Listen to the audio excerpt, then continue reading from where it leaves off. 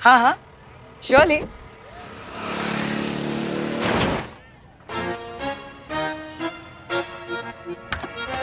Dam दिखाई नहीं देता। गाड़ी ठोक दी मेरी। इडियट ऐसे मुँह खोल के क्या खड़े हो? क्या किया ये? सॉरी मैम मैं उधर से आपकी स्माइल देखते हुए आ रहा था। आपकी स्माइल बहुत टुच्ची सी है। What what did you say and what language is that तुमने मुझे अभी गाली दी? नहीं नहीं नहीं नहीं मैंने आपको लुच्ची नहीं बोला मैंने बोला टुच्ची। अच्छा तो तुच्ची गाली नहीं हुई? नहीं टुच्ची इज़ नॉट अ गाली। लगता है आपको इंग्लिश नहीं आती। व्हाट टुच्ची मतलब तारीफ़। तारीफ़ कर रहा हूँ मैं आपकी स्माइल बहुत टुच्ची सी है। तारीफ़ होती है? हाँ। अभी तो मैं बताती हूँ ये तारीफ़। चलो मेरे साथ थाने कोई है?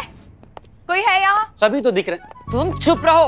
ओके कोई है कोई है मतलब क्या? हार्ड मास इंसान तुमको दिखाई नहीं देते हैं? सी दिस मुझे इसके खिलाफ रिपोर्ट लिखवानी है। हाँ सुनेंगे तुम्हारा सुनेंगे। सबसे पहले उसका कॉलर छोड़ो। क्या ये थाना है? जंगल नहीं। समझ गए? तुम्हारा सुनने से पहले ना तुम पे धारा लगा के तुमको अंदर करेंगे। क्या चाहती हो? धारा है? किस बात की धारा है? जंगल राज है क्या? कानून मुझे भी पता है। धाराएँ लगेगी लेकिन इस पर। वो भी मेरी कंप्लेन की बेस पर। मगर इसने किया क्या है? बदतमीजी की इसने मेरे साथ। और इसने मुझे गाली भी दी। गाली? गाली कब दी हमने आपको। क्यों? तुमने वो सबके सामने नहीं बोला कि आपकी स्माइल बहुत ही टुच्ची है? हाँ तो हम अभी भी बोल रहे हैं आपकी स्माइल बहुत टुच्ची है सबके सामने बोल सकते हैं। बट टुच्ची इज़ नॉट अ गाली देख लीजिए देख लीजिए। आपके सामने बदतमीजी कर रहा है मेरे साथ। कहा ना इसने? आप जल्दी से इस पर एक्शन लीजिए और इसे जेल में उठाकर डालिए। अभी के अभी? हाँ हाँ ठीक है ठीक है। अब शांत हो जाइए। चीता चतुर्वेदी डालो भाई इसे जेल में। चलो तुमको टुच्ची का मतलब समझा। जाओ जाओ जल्दी जाओ। चलना। आप आप बैठिए। बैठ कर कंप्लेन लिखवाइए। जी बताइए क्या कंप्लेंट है? वैसे मुझे दो और लोगों के खिलाफ रिपोर्ट लिखवानी है। हाँ हाँ। जितने भी लोगों के खिलाफ लिखवानी है प्लीज़ इतमान से लिखवाइए रिपोर्ट। बताइए कौन कौन है जो आपको परेशान कर रहा है? एक तो मेरे दूध वाले बिरजू का भाई है बिल्लू। और दूसरा है मेरा लैपटॉप रिपेयर टेक्नीशियन ठीक है। करिश्मा सिंह? जी। ये जो बिल्लू और ये जो टेक्नीशियन है उन्हें पकड़ कर लाइए। पता लगाइए कि वो क्यों इस मासूम महिला को इतना परेशान कर रहे हैं। जी मैडम सर। हाँ जी ये बताओ क्या तुमने इन्हें गाली दी है? No no? झूठ। अभी तो आप सब लोगों के सामने इसने मुझसे कहा कि आपकी स्माइल बहुत ही टुच्ची है। आप ही बताइए क्या ये गाली नहीं है? No no? टुच्ची गाली नहीं हुई। एक मिनट एक मिनट चीते नोट पैड लाओ। और आपको जो भी समझाना ना वो आप लिख कर बताएँगे बोल कर। ठीक है? दीजिए उनको नोट पैड दीजिए। बहुत हो गया अंग्रेज़ी। ले रे ले। लिखो।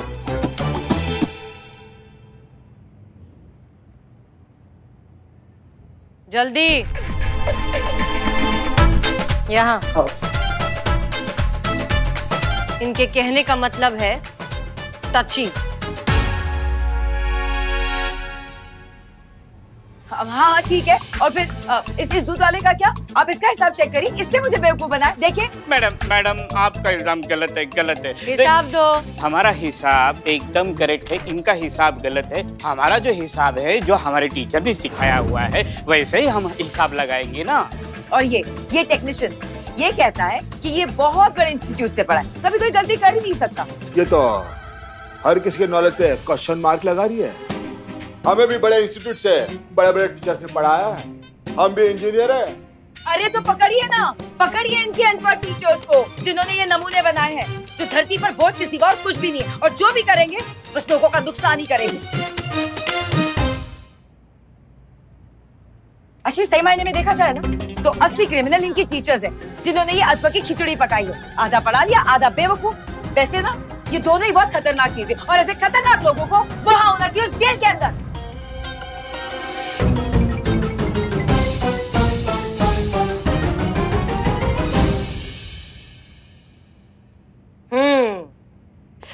अब आपको शायद समझ में आ रहा है कि जब अनपढ़ गवार टीचर्स बच्चों को पढ़ाते हैं तो उसका नतीजा क्या होता है? ये होता है नतीजा। इनफैक्ट ये लोग भी तो उन्हीं बच्चों का फ्यूचर है ना, जिन्हें फ़िलहाल आपके भेजे हुए अनपढ़ गवार टीचर सरकारी स्कूलों में पढ़ा रहे हैं। और ये आगे आने वाले खोखले भविष्य का ना एक छोटा सा झलक है, मैडम अपर्णा बंसल। अगर ऐसी आप जैसे लालची और मतलबी लोग शिक्षा के मंदिर में ऐसे रट्टू तोते बिठाएँगे ना तो आगे का आने वाला जो भविष्य है ना, वो अंधकार में है। कौवा जो होता है ना, वो श्राद्ध का प्रसाद खाता है। शिक्षा का संगीत नहीं गा सकता है उसके लिए शिक्षा का कोयल चाहिए जो अपने मधुर कंठ से ना शिक्षा का संगीत गाए। आगे आने वाले भविष्य को उज्जवल करे, आपकी तरह ऐसा खोखला ना करे। और एक बात अपर्णा जी, हम चाहते तो इस चीज़ के लिए आपको बहुत पहले अरेस्ट कर सकते थे, यहाँ ला सकते थे। इनफैक्ट हमारी काबिल ऑफिसर करिश्मा सिंह वो दो मिनट में अपना भौकाल दिखाती आप सब कुछ कन्फेस कर देती। लेकिन ये हमारा मकसद नहीं था। हमारा मकसद था सच्चाई से आपको रूबरू करवाना। और इसीलिए हमने छोटा सा नाटक किया। मैडम जी, माफ़ कर दीजिए हमें। अब हमारे समझ में आया कि हम जो बीज बोएँगे, वही हमारे आने वाले बच्चे और आने वाली जनरेशन काटेगी। जब देश बढ़ेगा, तभी तो आगे बढ़ेगा। तभी तो कहलाएगा एक विकासशील भारत। प्लीज़ हमें माफ़ कर दीजिए और आप लोग जो चाहे हमें सजा दे सकते हैं। देखिए, फ़िलहाल अभी तो आपके एजुकेशन डिपार्टमेंट में इंटरनल इंक्वायरी चल रही है तो हम आपको सजा तो नहीं दे सकते, लेकिन एक सुझाव ज़रूर दे सकते हैं। आपकी ओरिजिनल पोस्टिंग अब भी गोमती नगर के सरकारी स्कूल में है। और अब आप देश का भविष्य उज्जवल बनाना चाहती हैं या अंधेरे में डालना चाहती हैं, ये तय करने के लिए आपको एक बहुत अच्छा मौका मिला है।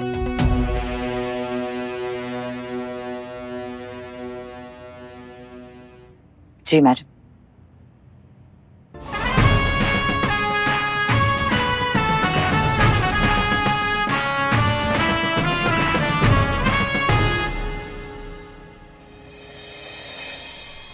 Repeat after me. F U F U T U T U R E. R E Future. Future F U F U T U T U R E. R E Future. Future.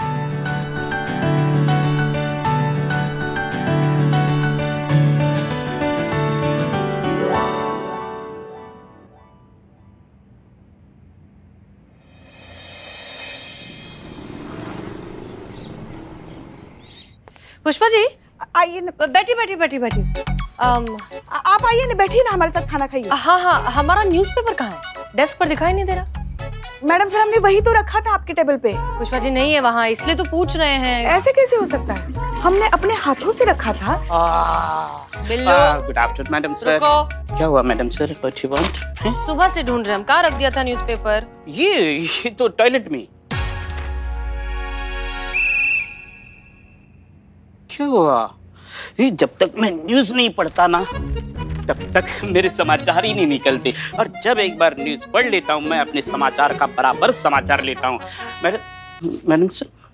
बाप रे गजब पुष्पा जी ये तो आपके भोलेनाथ का भला हो कि आप ये जो रोटी है ना घर का अखबार में लपेट कर लाती है। नहीं तो अनर्थ करवा देता है बिलौटा नहा कराना पड़ता आपको। क्या हुआ? बस क्यों रही है? नहीं मैडम सर वो वो कहावत है ना कि सयाना कौआ जो है कभी कभी मुँह की खाता है। वो आज पुष्पा जी पे एकदम अच्छे से जा रही है।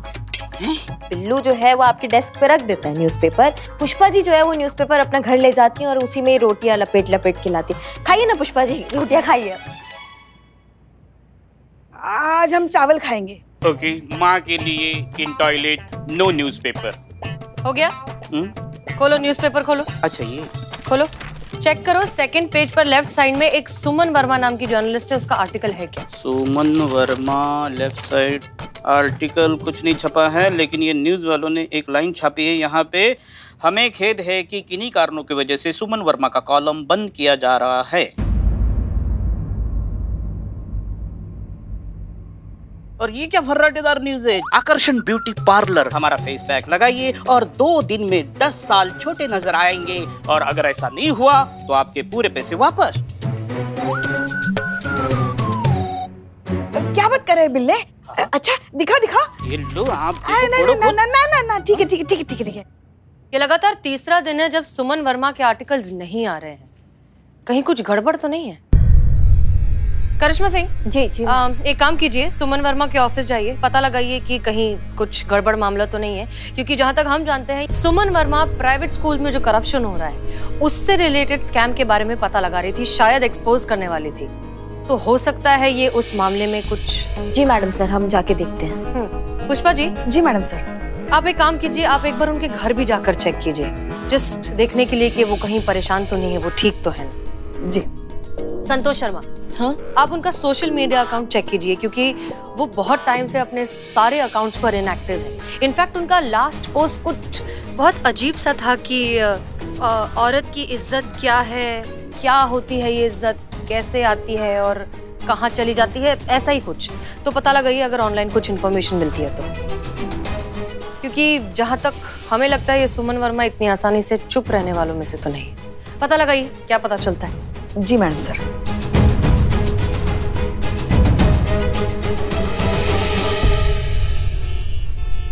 कहिए मैं आपके लिए क्या कर सकता हूँ? सुमन वर्मा नाम की रिपोर्ट नॉट ए गन बहुत ही intelligent hard working brave journalist I am sure वो आगे जाएगी।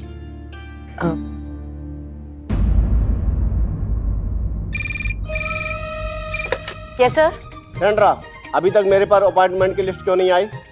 Sorry sir you are fired मैं तुम्हें जॉब से निकालता हूँ। ओके सर कहिए क्या कह रही थी आप? आ, आ, आ, आप कह रहे थे आप बता रहे थे सुमन वर्मा के बारे में। सुमन वर्मा मैं उससे नफरत करता हूँ। काहे सर? अरे मैं यहाँ का बॉस हूँ। जिसको नौकरी से निकालना चाहूँगा निकालूँगा और जिसे रखना चाहूँगा रखूँगा। और उस सुमन की हिम्मत देखो उसने बिगर बताए बिगर इंफॉर्मेशन दिए हुए जॉब छोड़कर चली गई। अरे उसे बताना तो चाहिए था मुझसे मैं उसे नौकरी से निकालता। अच्छा मतलब आपके कहने का मतलब है कि सुमन वर्मा अब यहाँ जॉब नहीं करती है? तो मैं क्या फारसी बोल रहा हूँ? नहीं अचानक से जॉब काहे छोड़ दी सुमन वर्मा ने ना? कुछ तो वजह होगी। सुमन के साथ पतकारपुरम मार्केट में हादसा हुआ था जिसकी वजह से वो डिस्टर्ब हो चुकी थी। और शायद मुझे लगता है इसी वजह से वो जॉब छोड़कर चली गई।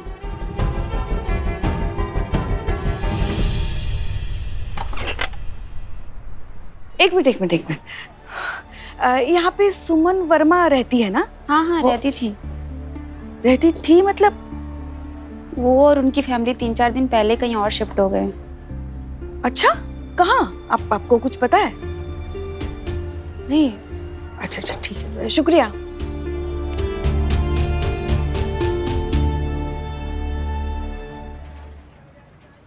जय हिंद मैडम सर। मैडम सर हम अभी सुमन वर्मा के घर के बाहर ही खड़े हैं मगर यहाँ तो कोई नहीं है ताला लगा हुआ है। हमने पड़ोसियों से भी पूछताछ की मगर वो कह रहे हैं कि तीन चार दिन पहले अपने पूरे परिवार के साथ वो ये घर छोड़ के कहीं और शिफ्ट हो गई है। अब कहाँ शिफ्ट हो गई है ये तो किसी को पता नहीं है। अच्छा ठीक है आप एक काम कीजिए आप थाने वापस आइए। हमने करिश्मा सिंह से कहा था कि सुमन के ऑफ़िस में जाकर पता करें। हो सकता है उनके पास कोई इन्फॉर्मेशन हो। आप वापस आ जाइए। ज़िंदा था ज़िंदा था ज़िंदा था। पुष्पा जी आप ठीक तो है ना? नहीं नहीं नहीं मैडम सर। लगता है हमें हमें बुखार आ गया है। आह, हमें चक्कर भी आ रहे हैं। हमारा हमारा पूरा बदन ना ऐसे लग रहा है जैसे हमारे पूरे बदन पे अंगारे जल रहे हैं। हमारी जान हलक में आ गई है। Madam sir. पुष्पा जी आप क्या करिए आप डॉक्टर के पास जाइए। हम भी यही सोच रहे हैं मैडम सर कि इससे पहले कि हमारी फाइनल छुट्टी हो जाए और हम अल्लाह के पप्पा के पास और शिव जी के पास कैलाश पर्वत चले जाएँ हम आधे दिन की छुट्टी लेकर डॉक्टर डॉक्टर को दिखा लेते हैं है ना? पुष्पा जी पुष्पा जी सब कुछ छोड़िए पहले डॉक्टर के पास जाइए इनफैक्ट हम भी आते हैं आपके साथ। नहीं नहीं। अरे नहीं नहीं मैडम सर आप खामखा क्यों तकलीफ़ उठा रही है? ये तो मौसमी बुखार है अपने संतु को हुआ है ना वैसा। हमें तो लगता है संतु ने ही हमें दिया होगा बुखार। अच्छा ठीक है। अब तो फिर हमें बताइए डॉक्टर क्या कहता है ठीक है? हाँ हाँ हाँ ज़रूर मैडम सर। जय हिंद मैडम सर। हाँ हाँ जय हिंद जय हिंद ध्यान रखिए। ये पुष्पा जी को भी वही इन्फेक्शन हो गया जो संतु को हुआ है। माँ भगवान माँ को ठीक कर पुष्पा नज़र ना लगे हमारी अद्भुत अभिनय प्रतिभा को। अब हम जाएँगे ब्यूटी पार्लर और वहाँ लगवाएँगे वो फेस पैक और सीधा सीधा बीस साल पीछे। मैडम सर आप ही सुमन वर्मा के बारे में बिल्कुल सही थी। मतलब थोड़े दिन पहले तक ही सारा सोशल मीडिया प्लेटफॉर्म पर ऐसे एक्टिव थी लेकिन अभी सारा अकाउंट डीएक्टिवेटेड है। हर जगह से गायब हुई अच्छा उसका मोबाइल नंबर मिला? नंबर तो मिल गया मैडम सर लेकिन कोई फ़ायदा नहीं हुआ। मतलब नंबर लग नहीं रहा है। हमको लग रहा है कि वो नंबर यूज़ नहीं कर रही है दूसरा नंबर यूज़ कर रही है वो। हम्म। Madam sir one question raise in my mind आपकी बातों से लग रहा है कि आप सुमन वर्मा को ठीक तरह से जानती नहीं हैं। लेकिन पहले हमें लगता था कि आप सुमन वर्मा को पर्सनली जानते हैं इसीलिए उनके बारे में चिंतित है। नहीं नहीं ऐसा कुछ नहीं हम उन्हें पर्सनली बिल्कुल नहीं जानते। हम उन्हें सिर्फ़ उनके आर्टिकल्स के थ्रू ही जानते हैं। और वो भी इसलिए क्योंकि वो हमेशा से हमें थोड़ी सी अपनी सी लगी है। उनकी लिखाई हमें खासतौर पर बहुत इम्प्रेस करती है क्योंकि उनकी लिखाई में ना हमेशा से एक कुछ कर गुजर जाने की जो एक तड़प है और एक जो मज़बूत इरादों वाली जो बात है, वो जो पैशन है, वो बहुत अच्छे से आता है। इसलिए वो हमें बहुत अच्छी लगती है। हमें लगता है कि कुछ लोग हैं अब भी इस दुनिया में जो पूरी ईमानदारी, मेहनत और सच्चाई के साथ अपना काम कर रहे हैं। इसलिए जब अचानक से उनके आर्टिकल इस तरह से आना बंद हो गए तो हमें लगा कि पता लगाना चाहिए कि माजरा क्या है। बस इतना ही। ओह my god madam sir you great you great no बातचीत नो मुलाकात फिर भी एक रिश्ता कायम कर लिया आपने सुमन वर्मा के साथ। और जिससे रिश्ता कायम कर लिया उनको पता ही नहीं। लिखता है जो तू बात वो लगती है मेरी सी। कुछ खलिश है शायद तुझ में मेरी सी और कुछ तपिश है शायद मुझमें तेरी सी।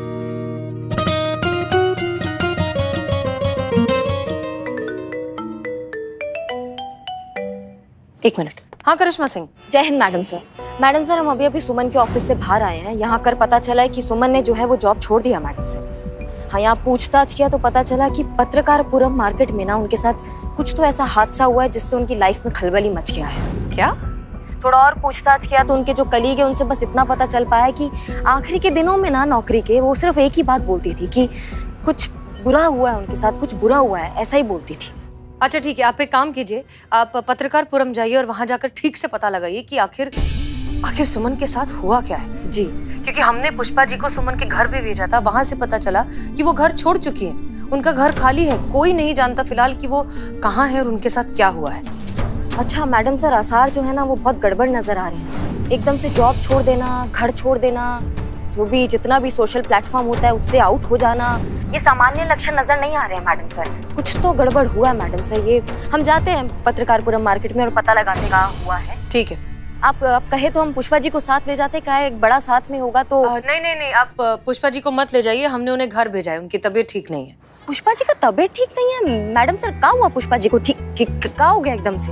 हाँ वो फ़ोन पर बहुत खांस रही थी कह रही थी उन्हें बुखार भी आया हुआ है। तो हमने कहा कि आप पहले डॉक्टर के पास जाइए फिर वहाँ से घर चले जाइए। मैडम सर यकीन सच में उनका तबीयत ठीक नहीं है ना मतलब?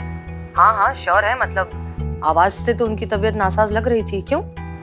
नहीं नहीं मैडम सर कुछ नहीं है ठीक है हम जाते हैं। ठीक है जय हिंद।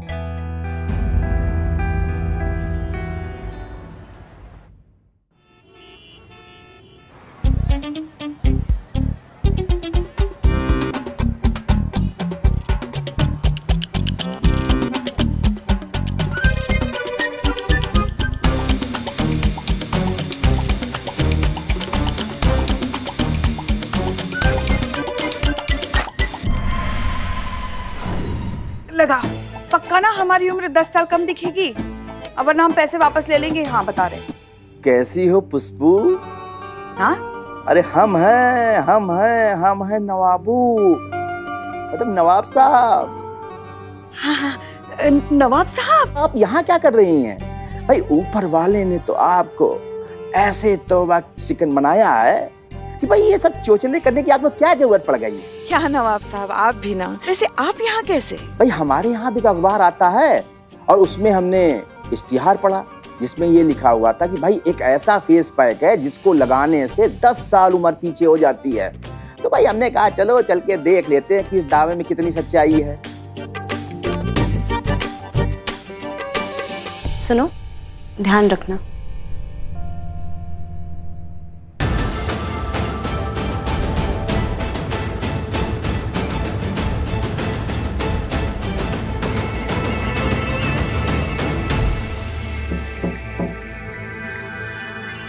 हेलो मैम हेलो ये फ़ोटो देखो इस लड़की को तुमने कहीं देखा है? नहीं। एक बार अच्छे से देखो इसके साथ यहीं कहीं आसपास कुछ दुर्घटना हुआ था। एक्चुअली मैम मैं यहाँ पे नहीं आई हूँ तो मुझे इसके बारे में कुछ पता नहीं है। मैं आपको अपनी सीनियर से मिला देती हूँ शायद वो कुछ आपकी हेल्प करे। आप आइए। मिलवा दीजिए। पता है पुष्पू? कल रात हमने ख्वाब में किसे देखा? अब ये मत कहिए नवाब साहब कि आपने हमें देखा। हमने अपनी नानी जान को देखा था। और जानती हो वो सपने में हमसे क्या पूछ रही थी? यही पूछ रही होंगी कि सही समय पे अपनी दवाई ली कि नहीं? नहीं नहीं वो हमसे ये पूछ रही थी कि भाई पुष्पू कैसी है? वो तो हमारे खानदान की जैसी लगती है, है? अरे वो तो बड़ी खूबसूरत है नायाब है बेमिसाल है। अरे ऐसी औरतें आजकल कहाँ बनती हैं? क्या नवाब साहब आप भी ना। चीता चतुर्वेदी एक बात बताइए। अगर सुमन ने अपना फ़ोन बंद कर दिया है तो हो सकता है कि उसने नया सिम कार्ड लिया हो। और ये भी पॉसिबल है कि वो उसी पुराने फ़ोन में नया सिम कार्ड डालकर इस्तेमाल कर रही हो। जल्दी से पता कीजिए कि कौन सी कंपनी का उनका फ़ोन है और इस आई नंबर से उन्हें ट्रैक कीजिए। ठीक है मैडम ठीक है। सुमन वर्मा का पता लगाना बहुत ज़रूरी है। हमें लगता है कि वो मुश्किल में है।